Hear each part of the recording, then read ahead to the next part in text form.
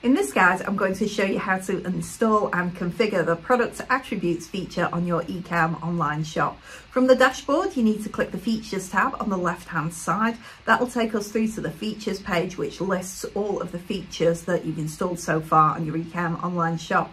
This is only a little test shop that I have, so I have hardly any features on there. However, from here you need to click feature library on the top left and that will take you through to all of the available features that you can install.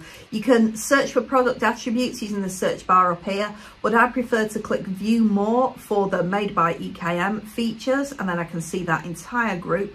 And if I scroll down, product attributes is the purple icon with the bullet points on it. Click that and it'll take you through to this page which explains a little bit of bump about the feature and what it does. And you just need to click install feature in the bottom right hand corner. Now this feature you do a little bit of configuration within the feature itself. And then once you've done that you do your next bit of configuration within the add edit product window on the products themselves okay? So when you first install the feature you'll have something that looks like this. So at the top, do we want to enable product codes? Do you want to allow customers to look for products according to the code attributed to them? So yes, you do. Um, enable product recommended retail price. This is really useful if you regularly sell products where you're selling them below the RRP. If you are, that's fantastic. If you populate those products with the RRP and also populate them with the price that you're charging for those products, what happens is, is then on the product page, the RRP price will be shown with a strike through it and then underneath it will be your cheaper price. And it's just an extra, extra visual signifier um, to show customers how much money they could be saving. So that's worth doing if you do that. Enable product brand. Do you want to uh, add brands to products and allow customers to look for specific products according to their brand? Tick that box. Uh, enable product condition, this isn't used as often, but if you sell antiques or reconditioned, refurbished products, you would probably use this and you can add the product condition on there. So you can add in, you know, is it refurbished? Okay. Uh, but like I said, this isn't used too often. It's only on shops that sell older or refurbished secondhand things. All right.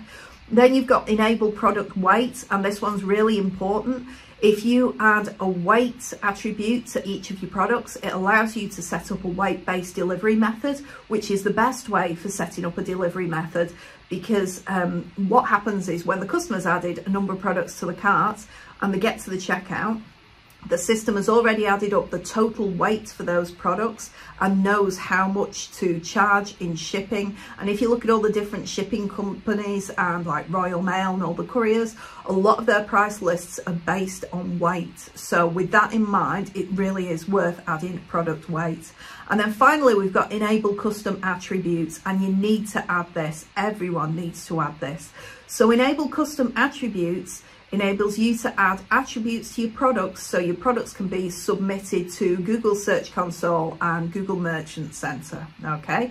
So Google is smart, but it doesn't have eyes, so it requires you to add attributes and labels to your products so it knows what they are. So some people will know these as SKUs, or it could be EANs, or it could be GTINs or MPNs. We do have a lot of guides on this on our support center, okay? That's worth looking up. However, once you've ticked the boxes that you'd like, you just need to click save okay? And then what I'm going to do is I'm going to pop into a product window here. So I'm just going to pop into the add edit product window for this item and I'll show you what all of the different um, attributes look like. So under more options you'll see attributes click this so we've got a weight here for this product, okay? I must have added this in previously on this online shop. So I'm saying the weight of this product is 2.8. We'll give it a brand name of Prodigy. Um, and that's me adding the weight and the brand to it. If I just save that and then come out of that and go on to basic details, um, if I, let's see, we've got our edit variant prices. Here we go. So we've got all the different prices down here because uh, this product has variants. And I can add an RRP price and I can add a cost price as well but for this I can add an RRP price and a regular price as well. Okay so if my RRP is cheaper than my regular price it's really worth adding that RRP too. Now um, also in the realms of attributes if I just pop back in some variants and I pop edits on here okay and then um, looking at this specific variant, if I click attributes, you've got this custom attributes window here. So I must have added a product code to this previously as well as the weight. If you click in the name box here, you can see all of the different attributes. Now, what attributes you add depends on what kind of product it is. If it's like a machine part, it's probably an MPN.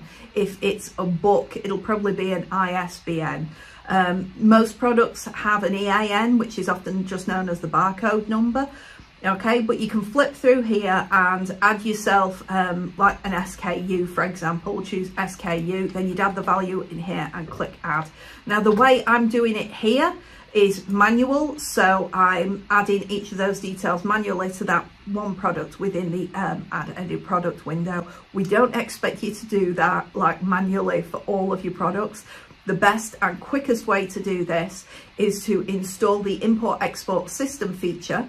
And then when you've installed that, you can export all your products out onto a spreadsheet and then you can add all of those custom attributes so your EANs, your GTINs, your SKUs and so on and all of your weights you can add them all to a spreadsheet and then upload them again if you are going to do that, I would recommend that you set up one product and a product with variants as well, if a lot of your products have variants. Set up one product manually first, then export everything to a spreadsheet, and then you can see that one product that you've done already, you can use that as a guideline for adding the custom attributes to the rest of your products. All right. Now, as always, we've got a ton of support guides on this. So to find the support centre, you need to go to support.ekm.com. If you just run a search for Google Shopping, you'll see lots and lots of guides on there. And as always, if videos are more your thing, then come and find us over on YouTube as well. Just bob onto youtube.com, type in EKM and you can find us on there.